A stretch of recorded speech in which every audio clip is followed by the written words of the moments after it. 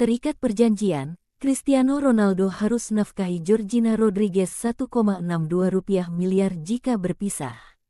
Meski belum resmi menikah, Cristiano Ronaldo dan Georgina Rodriguez telah memiliki semacam prenuptial agreement alias perjanjian pranikah. Hal ini diungkap dalam sebuah laporan media di Spanyol, sebagaimana dikutip dari Daily Mail. Dalam perjanjian itu, ada ketentuan yang mewajibkan mega bintang Al Nasser itu memberi nafkah kepada Georgina Rodriguez sebesar hampir 86 ribu pound atau sekitar 1,62 miliar rupiah sebulan jika mereka berpisah. Model Spanyol berusia 29 tahun itu bahkan dilaporkan akan mendapat nafkah tersebut seumur hidupnya, menurut kesepakatan pranikah mereka. Beberapa waktu terakhir, ada desas-desus yang menyebut bahwa hubungan Cristiano Ronaldo dan Georgina Rodriguez retak. Gosip bahwa hubungan mereka kandas berembus pada April tahun 2023 lalu. Dikutip dari Kompas.com, ada beberapa faktor yang diisukan memicu keretakan hubungan CR7 dan Gio, panggilan akrab Georgina Rodriguez. Seperti, Perbedaan usia CR7 lebih tua 9 tahun daripada Georgina, status mereka yang tak kunjung menikah, hingga karir Cristiano Ronaldo di dunia sepak bola. Selain itu, ada kabar CR7 sudah muak dengan kekasihnya. Akan tetapi, CR7 dan Gio seolah ingin menepis rumor keretakan hubungan ini dengan unggahan mereka.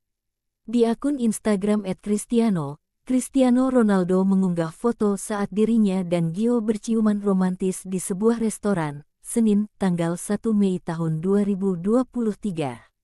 Dalam unggahan itu, CR7 menuliskan keterangan, bersulang untuk cinta.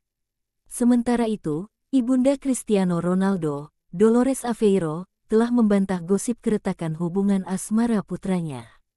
Menurut Dolores, gosip itu hanyalah kebohongan.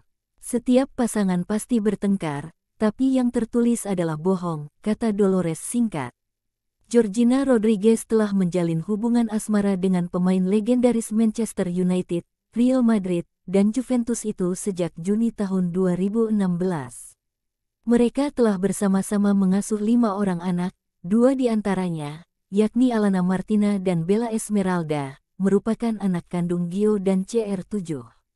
Sementara, Tiga anak lainnya adalah Cristiano Ronaldo Jr. dan si kembar Eva dan Matteo, yang lahir melalui ibu pengganti.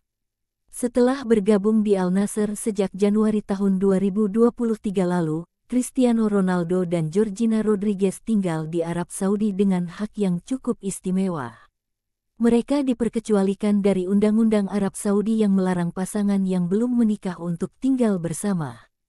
Meskipun belum menikah secara resmi, Menurut TV Guya, ada kesepakatan yang dibuat antara Georgina Rodriguez dan Cristiano Ronaldo.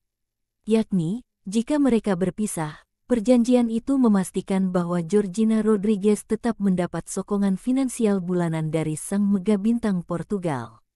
Kesepakatan tersebut dilaporkan untuk menyerahkan kepemilikan rumah keluarga di Madrid, La Vinca, kepada Georgina Rodriguez.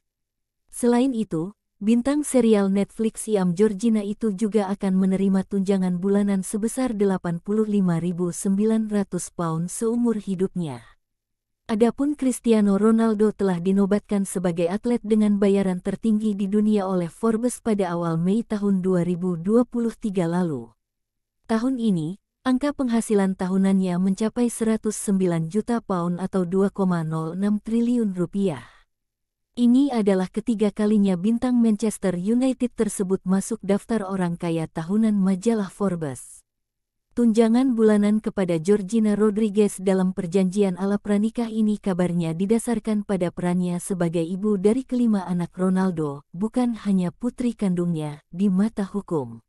Sejauh ini, perwakilan Cristiano Ronaldo telah dihubungi untuk memberikan komentar terkait kebenaran perjanjian pranikah tersebut.